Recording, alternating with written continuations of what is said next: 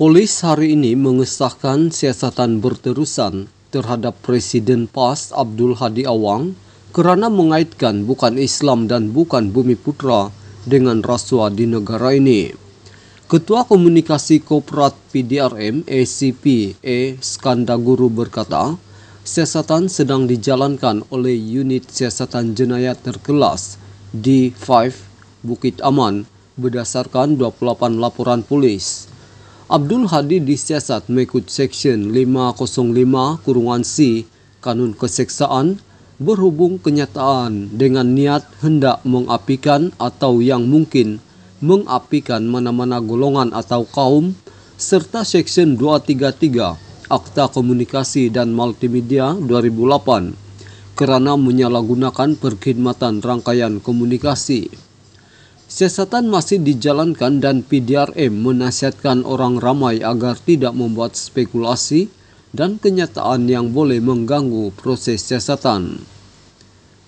PDRM juga menyeru orang ramai agar cakna dan prihatin terhadap isu-isu yang menyentuh sensitiviti agama dan kaum yang boleh menggugat keharmonian dalam masyarakat, kata Skandaguru pada satu kenyataan hari ini.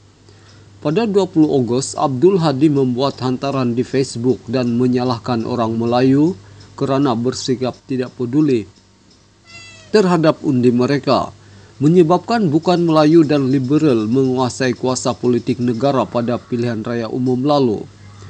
Ahli Parlimen Marang itu juga berkata untuk menangani penyakit rasuah, ia wajibkan dilakukan secara holistik supaya tidak menjadi wabak apabila diambil tindakan yang tidak menyeluruh sehingga ke akar umbinya. Khususnya terhadap mereka yang menjadi punca rasuah kerana mengejar harta secara haram sehingga kan dalam kalangan mereka itulah yang menguasai ekonomi negara lalu menggunakannya bagi merosakkan politik, urusan tad pentadbiran, dan kehakiman. Malah mereka juga golongan yang paling besar merosakkan politik dan ekonomi negara, majoritinya daripada kalangan bukan Islam dan bukan bumi putra, kata Hadi. Antara mereka yang membuat laporan polis terhadap HD termasuk DAP, selain beberapa NGO yang menggesa pihak berkuasa mengambil tindakan.